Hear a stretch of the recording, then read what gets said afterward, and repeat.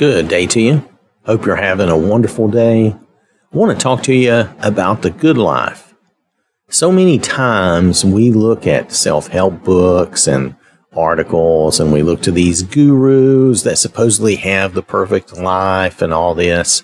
We listen to the, the latest trend on how to improve ourselves, how to have a better life, right?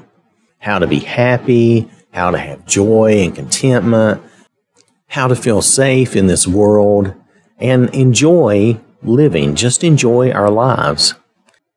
Sadly, we tend to ignore the best authority on the idea of living a good life.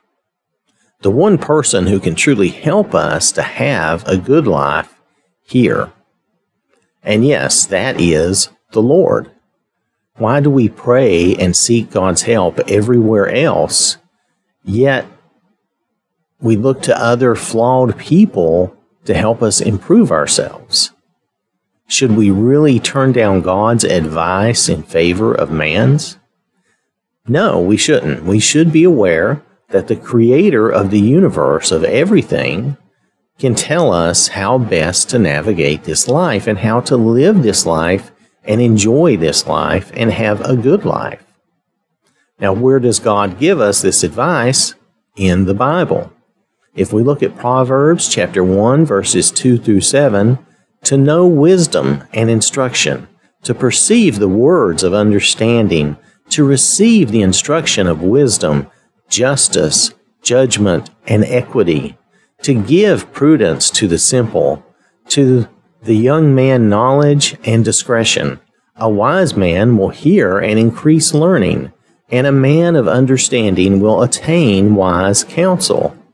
To understand a proverb and an enigma, the words of the wise and their riddles. The fear of the Lord is the beginning of knowledge, but fools despise wisdom and instruction. This is the purpose of Proverbs specifically and the Bible in general to teach us all these things wisdom, judgment, and justice, discretion, and understanding. These things are what we need to have a good life. If we look at Hosea chapter 4, verse 6, my people are destroyed for lack of knowledge. Because you have rejected knowledge, I also will reject you from being priest for me. Because you have forgotten the law of your God, I also will forget your children. The lack of knowledge of God's Word is what destroys us.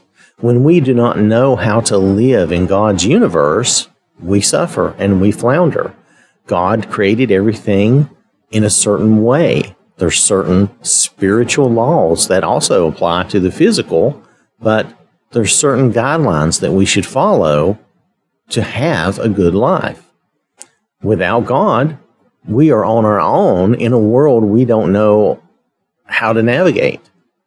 And that's not the life we want. Here is the life we are pursuing. If we look at Psalm 1, Psalm 1, verses 1 through 3.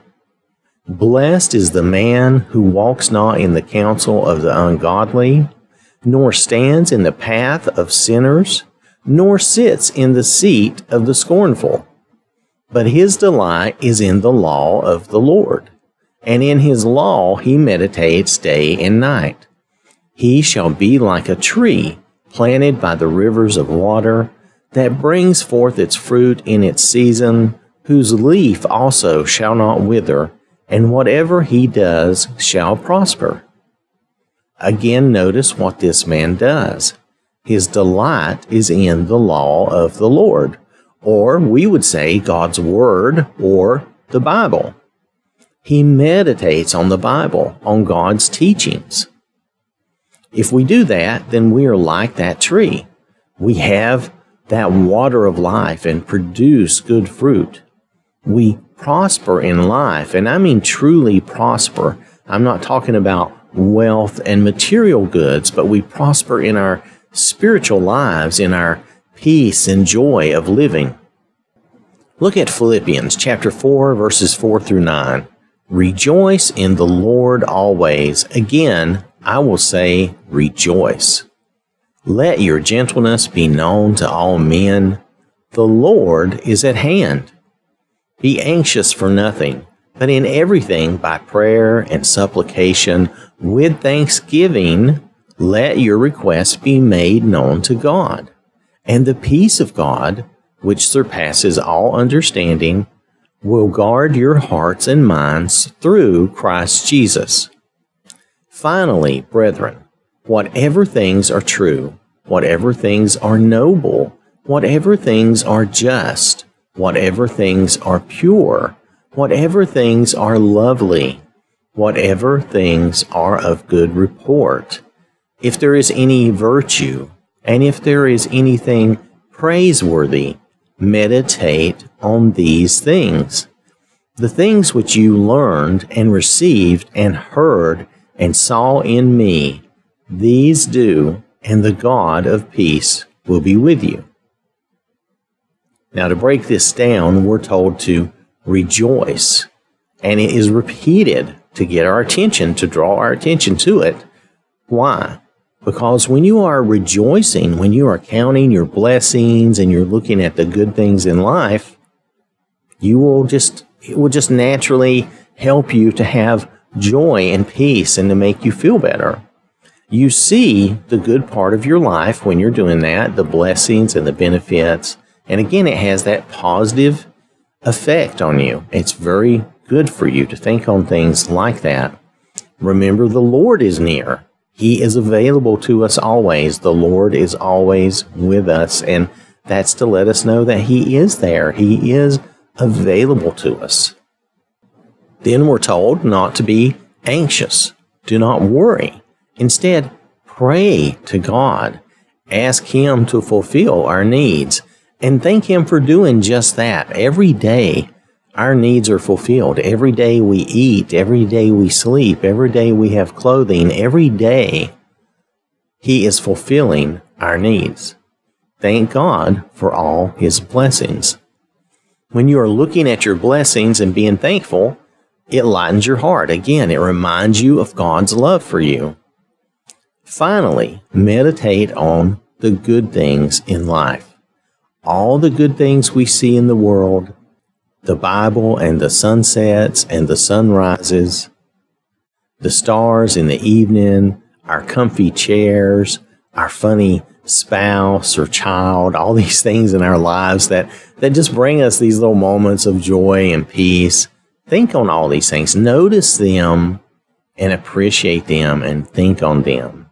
You know, sometimes do you ever just like look at your spouse and you just smile, you're thankful that you have them there, that they're who they are, that type of thing. Just just little things sometimes, just very subtle things. You look at your child and you're just you're proud of them. You're happy, you know, for them for something they've done or or maybe just that they're a good person and they're also someone that you like to be around, you know, and that type of thing. Just very these very minor things we tend to take for granted are so much more important than wealth and material goods. So notice and think on the good. Do not let the devil lie to you and tell you life is awful and horrible and hopeless because that's what he wants you to think. But there's always hope and there's always goodness in the Lord. And beyond this, beyond ourselves, the Lord also gives us purpose in this life. And sometimes our problem is that we don't have purpose. We're just sitting around waiting for purpose.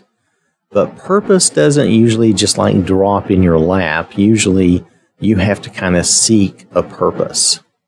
If we look at Matthew chapter 28, verses 18 through 20, and Jesus came and spoke to them, saying, All authority has been given to me in heaven and on earth.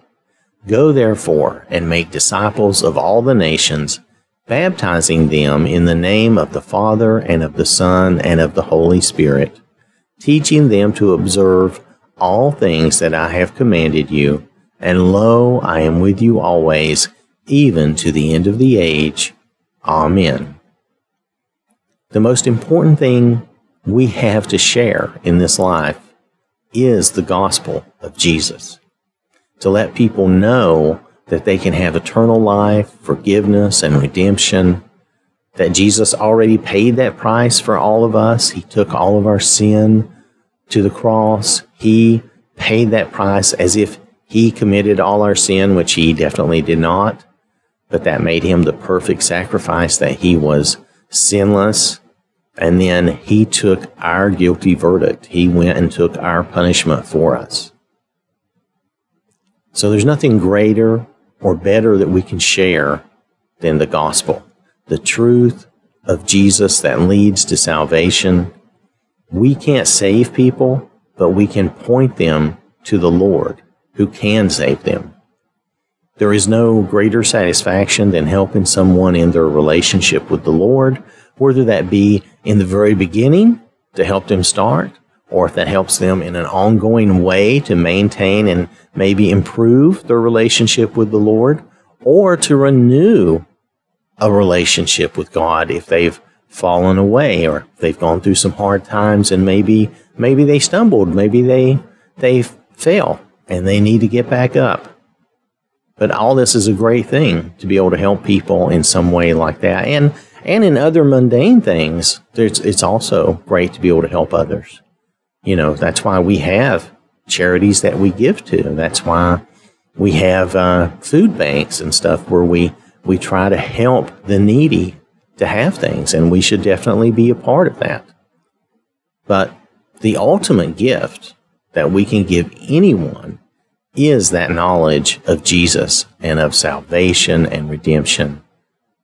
And I would encourage anyone who is not, who has not been baptized into Christ, I would encourage you to be baptized, find a local church that follows the Bible and that would be willing to baptize you and help you on your journey. So I want to thank you for listening. Hope you have a wonderful day. May God bless you and keep you safe. And remember, God loves you.